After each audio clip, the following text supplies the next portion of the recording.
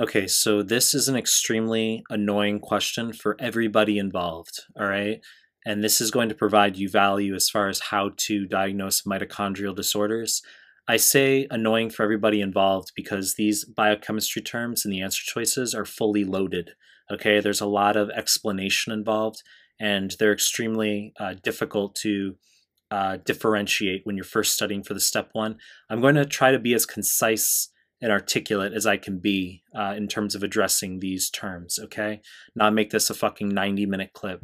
Now, first things first, USMLE wants to see that you can diagnose a mitochondrial disorder. There's a classic tetrad constellation of findings uh, hypotonia, lactic acidosis, and then an eye and an ear problem. Okay, this is what we see for mitochondrial disorders. Now, Hypotonia lactic acidosis makes sense. Muscles have high concentrations of mitochondria, as do the uh, the eyes and the ears. Okay, so even if you're not sure of the exact diagnosis, uh, if you're reading this stem, you could say, okay, that kind of sounds like a mitochondrial disorder. And then uh, this image is showing us ragged red fibers. You do not need to know this image for USMLE. I just decided to be an asshole and throw in this for the sake of it, but uh, this is showing us ragged red fibers. Okay, so ragged red fibers uh, refers to clumps of diseased mitochondria within the sarcolemma of muscle fibers. So this is MERRF syndrome, myoclonic epilepsy with ragged red fibers. Once again, USMLE doesn't give a fuck that you actually know of uh, MERRF syndrome or Leber hereditary optic neuropathy.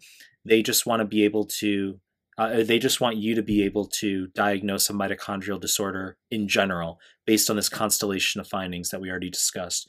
So you can see the two year old boy, our patient, has a more severe presentation than uh, his four year old sister. We make note of that. Now we look at the answer choices. Heteroplasmy, choice A, that is the correct answer. This is a high yield term that is associated with mitochondrial disorders. Now, in order to explain this, firstly, Mitochondrial disorders follow maternal inheritance pattern. So they're transmitted only from mother to child, okay?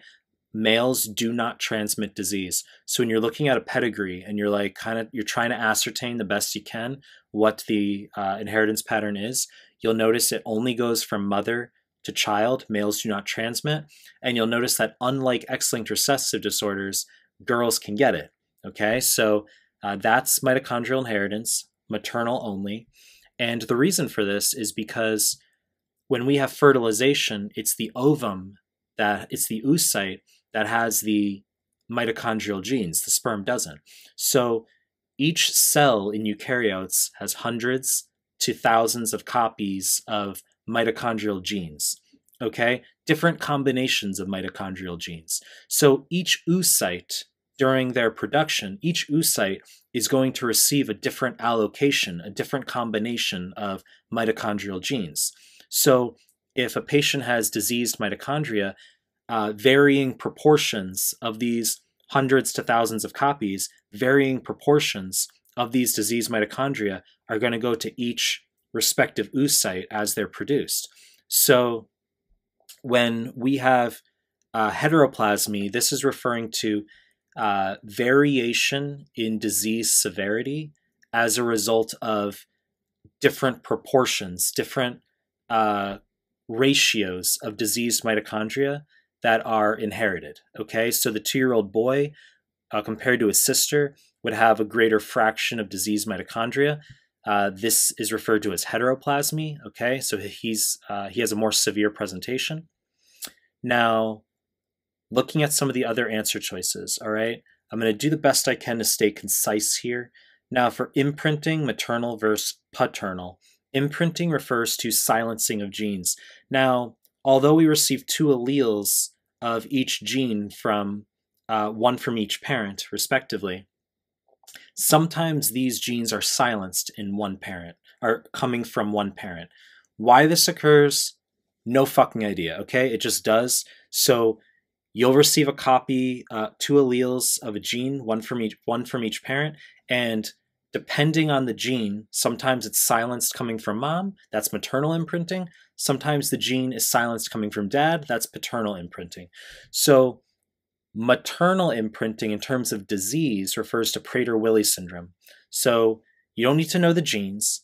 Prader Willi syndrome is when you have a gene inherited where it's silenced coming from mom, and then the copy you get from dad that's supposed to be wild type and functional is diseased slash mutated or deleted. So Willie hates his dad, that's the mnemonic. Willie hates his dad, Prader Willi syndrome, because dad's gene is deleted, and then mom's was silenced. Okay, her her copy can by all means be a healthy copy, but it's silenced. So maternal imprinting, and then it's deleted coming from dad. Willie hates his dad. That's Prader Willi syndrome, which is hyperphagia, eating too much, and mental retardation. And then paternal imprinting refers to Angelman syndrome. Okay, happy puppet syndrome. So this is when you have a, co- a uh, it could by all means be a healthy copy of the gene coming from dad, but it's silenced. And then mom is not an angel because her gene is deleted. Okay, so you receive mom's gene, it's deleted slash mutated. Okay, and dad's could have by all means uh, been a normal copy, but it was silenced. So uh, that's as concise as I can be for imprinting for USMLE. Maternal imprinting is Prader-Willis, and uh, paternal imprinting is uh, Angelman syndrome. Now, incomplete penetrance, uh, this versus variable expressivity. Okay, these are very important for genetics. Now, penetrance refers to the uh, the probability that a genotype uh, is expressed as the phenotype. Okay, so for example, if we have a disease where there is complete slash full penetrance, it means if you receive the diseased allele, you are 100% of the time going to have the diseased phenotype. NF1 is an example of complete penetrance, okay, full penetrance. Uh, whereas BRCA, BRCA1 and 2, the breast cancer genes, these are classic for incomplete penetrance. You've heard of skipping a generation, right? So, uh, BRCA, incomplete penetrance, sometimes the disease genotype uh, results in a normal phenotype, skips a generation. That's incomplete penetrance. Whereas NF1, if you have the diseased allele, you will always have a diseased presentation of some kind. That's complete penetrance. Now, we contrast that with variable expressivity, which refers to uh, variable presentations of uh, resulting from a diseased allele. And it must, it, there's the mandatory requirement that the disease has complete penetrance. Okay, so NF1 we used as our example of complete penetrance.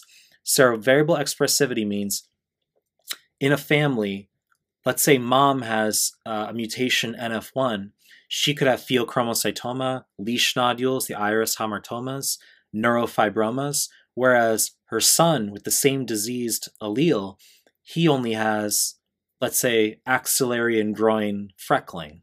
Okay, so they have variable expressivity. They have variation in their presentation uh, with respect to a disease that has complete penetrance. And now I'm going to compare this to pleiotropy. This is where it gets even more confusing and annoying. So pleiotropy refers to one gene resulting in many different phenotypes. And the USMLE example for this is Li-Fraumeni syndrome, so mutation in TP53, which codes for P53 tumor suppressor gene or tumor suppressor protein. So, a mutation in TP53 can result in uh, varying cancers, such as dad has pancreatic cancer, his brother has colon cancer, uh, the grandmother has uh, liver cancer. Okay, so a mutation in TP53 can result in many different types of cancers differing presentations for mutation in that same gene. And you say, but I don't get it. How is that different from variable expressivity? Because you just said NF1, muta- a, a, single mutation NF1, for instance, uh, could, could cause variation in presentation. So what's the difference with pleiotropy? It's that variable expressivity refers to a predictable spectrum of disease. So NF1, we know what to expect. There's a spectrum. They could get neurofibromas. They can get axillary and groin freckling. They can get Lisch nodules. They can get uh, pheochromocytoma. They can get weird brain cancers such as oligodendroglioma, ependymoma. It's a predictable spectrum. Okay, we're not expecting somebody to get uh, follicular thyroid carcinoma in NF1. Okay, so it's a predictable spectrum, and there's variable presentations, and the condition is completely, fully penetrant. So that's variable expressivity. Whereas pleiotropy, it's not a predictable spectrum. Someone in the family, uh, people in the family with Li-Fraumeni syndrome, one person getting osteosarcoma, another getting ovarian cancer, okay, these presentations are not predictable. It's more just P53 mutation can cause any type of cancer. Okay, so uh, for USMLE, you need to take home that pleiotropy is Li-Fraumeni syndrome, P53, and refers to one gene that can result in many different phenotypes, okay? And it's not predictable, the uh, resulting phenotypes, okay? Whereas, whereas variable expressivity is a predictable spectrum, such as NF1, and we must have complete penetrance, okay? And once again, a lot we can discuss. I know these terms are fully loaded. So, in short recapitulation, you need to take home that mitochondrial diseases have a tetrad constellation of hypotonia, lactic acidosis, and then an eye and an ear problem. Okay? You have to use your fucking head. If you get a question where uh, they say ragged red fibers in the vignette, the kid has hypotonia, and they only mention an eye problem, that's still a mitochondrial disease, okay? And the ragged red fibers refers to diseased mitochondria that are clumped within the sarcolemma of muscle fibers, buzzy term for mitochondrial disorders, and that heteroplasmy is a high yield term associated with mitochondrial disorders, and it's just varying proportions of mitochondrial genes that are allocated to the offspring, resulting in uh, varying severity of presentation. Okay, so I'm going to make more questions on uh, these concepts because there's a lot to unpack. As I said, uh, annoying for everybody involved, but that's it for now.